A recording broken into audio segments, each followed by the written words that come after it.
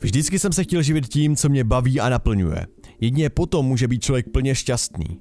Není to samozřejmě jediná věc, která člověka učiní šťastným, ale rozhodně to na to má veliký podíl. Pokaždé, když vidím všechny ty lidi, jak se znuděně a bez energie vrací domů s pocitem prázdnoty, jsem víc a víc vděčný za to, co mám. Ne, to nemá být vytahování se, to je pouze projevení vděčnosti. A ačkoliv mě čeká ještě spousta práce, tak jsem neskutečně vděčný všem lidem, kteří mě sledují, kteří ve mě věří a které jsem natolik zaujmul, že se rozhodli mě nadále sledovat. Jako malý jsem měl vždycky blízko k čemukoliv, co se týkalo videotvorby a grafiky.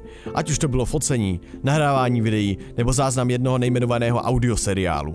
Když mi bylo 14 let, tak jsem se odhodlal k natočení svého úplně prvního let's play na YouTube.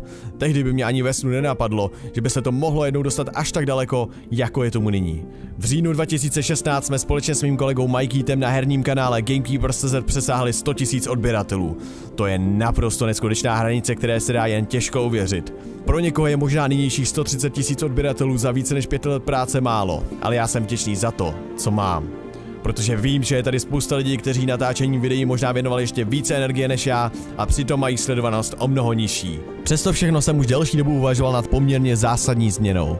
Gamekeepers.cz je super kanál, jsem moc rád, že jsem jeho součástí a že okolo něho vyrostla tak bezva komunita. Ovšem, Gamekeepers.cz je kanál postaven primárně na herních videích real life videa, která jsou mnohem náročnější na produkci a tím pádem nemohou vycházet tak často jako let's play, se mezi tou spoustou dalších videí jednoduše ztrácí. Věděl jsem, že to chce nějakou změnu a v mém nápadu mě ubezpečil zatím poslední 15. díl série Ask, který se vám opravdu velmi líbil. Proto jsem se rozhodl založit tento kanál kanál, kde budu přidávat všechna možná real life videa. Ať už to bude pokračování některé z našich sérií, jako je například ten zmiňovaný Ask, nebo to budou různé skeče, minifilmy a další. Máte se rozhodně na co těšit. Kanál jsem pojmenoval Tomáš Gale.